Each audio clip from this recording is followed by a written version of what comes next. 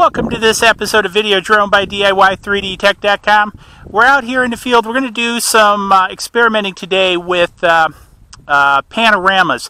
So, as you saw in a few past videos, I've been working with the ICE, the Image Composite uh, Editor from Microsoft. And one of the things I want to do is I want to take the raw 180 images and see if I can create a 360 degree panorama. So I'm going to do two episodes on this one. The first one is going to be this one where I, do three 180s and then the next one I'm going to do four 180s and compare the results between those and see what we get.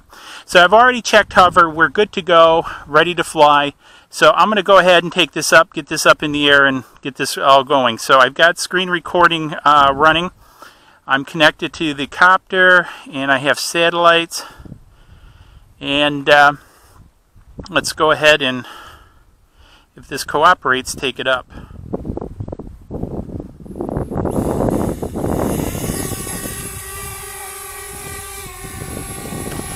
Okay so just do a quick uh, check.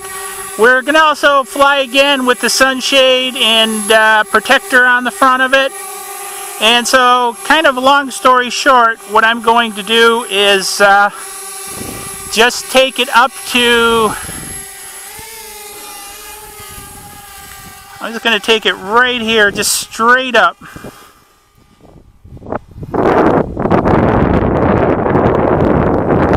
Okay, I'm at about 189 feet. And I'm going to switch this around and all right so I'm pointing in that direction. And so I'm going to go ahead and I'm going to take my first panorama sequence. So it's going to go through here and it's going to take 21 pictures.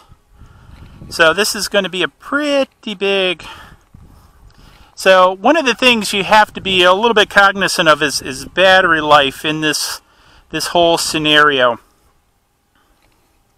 is it's going to take because I'm going to do what uh, 63 pictures in the end. And so uh, it's going to take a lot of battery I think.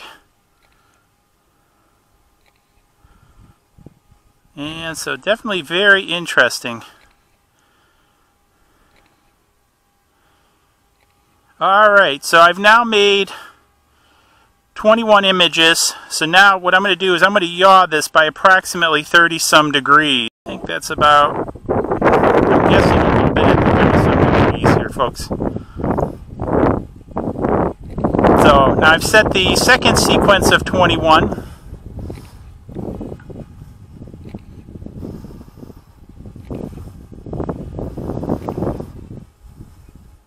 And it's going through doing that second sequence.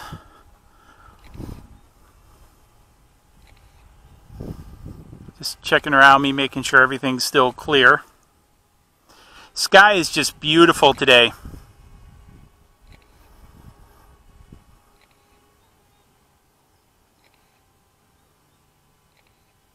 You know, I just, you notice that I'm going to have to check. The upward angle of this might be hitting the sunshade. Uh, okay, panorama completed. So now what I want to do is I want to yaw back around to another roughly 30 degrees, 33 degrees. And I'm going to hit... Now this will be the final run of the, the panorama sequence for this flight.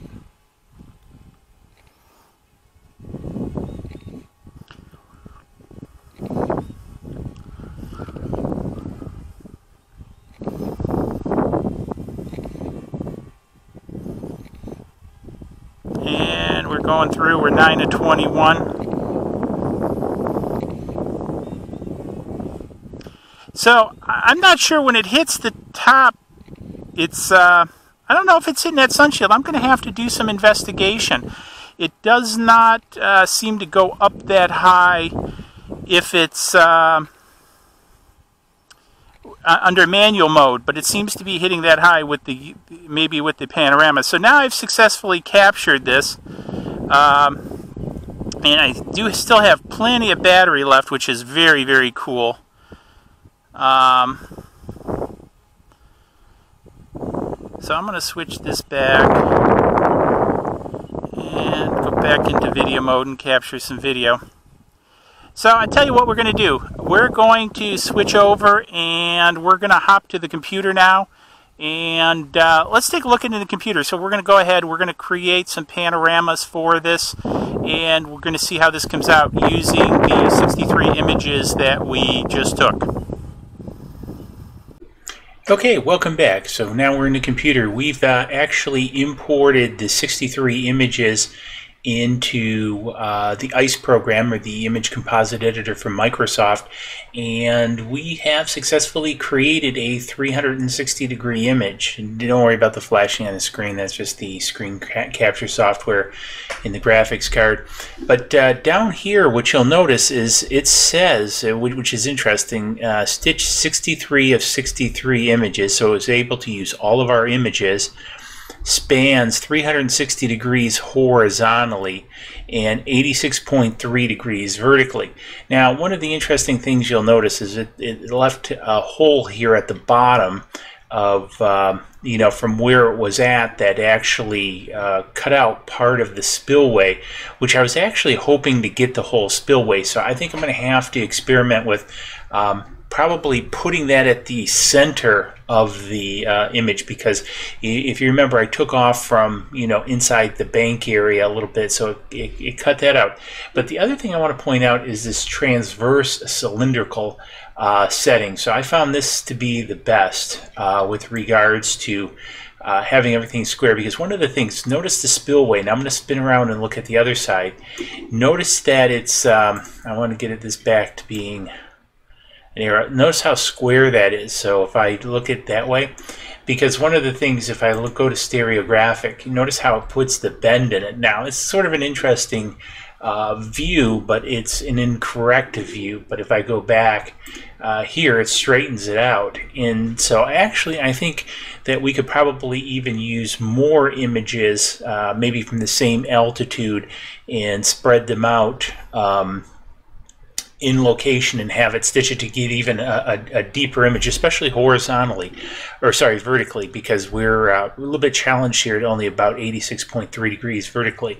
So anyways, I, am pretty excited about this. This is quite the image size, uh, to be frank with you, and uh, I think pretty interesting. I've always wanted to really mess around with um, uh, you know 360 images and to be able to capture them on the spark and you know then put them out on a website i think it'd be pretty cool. So you notice the holes here that i have as i zoom out.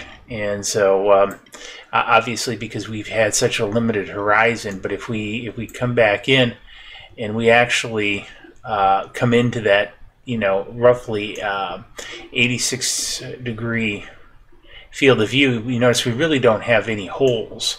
So this came out pretty good. I'm, I'm pretty happy with it. So if we look at the perspective of the copter itself, um, it did a pretty good job, and I think the ICE application did a pretty good job too. And again, you know, I'll render this image out, but uh, I won't make you wait through that. So anyways, big thumbs up on this. This did work.